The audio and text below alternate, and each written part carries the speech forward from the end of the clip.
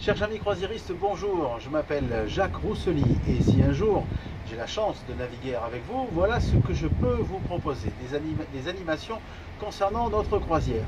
Alors la première chose, des points escales quotidiens concernant notre navigation entre un port et l'autre à travers des cartes marines et des détails techniques concernant nos escales.